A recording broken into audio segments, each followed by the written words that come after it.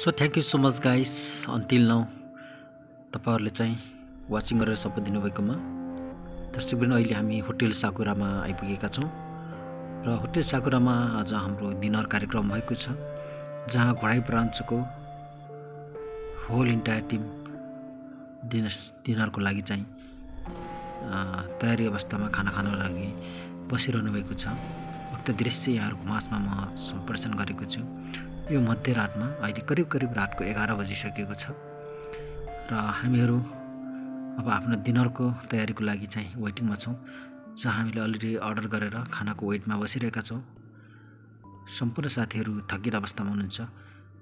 लामो यात्रा बाटो खराबीको कारणले गर्दाखेरि अनि गर्मीको बावजुद हामी सबै थकित र मुद्रित अवस्थामा छौँ। करिब करिब सात आठ घन्टाको लामो यात्रापछि अहिले हामी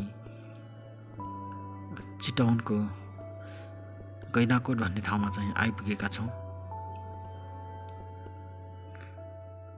सो फाइनली हाम्रो खाना आएर सम्पूर्ण साथीहरूले स्टार्ट गरिसक्नु भएको छ।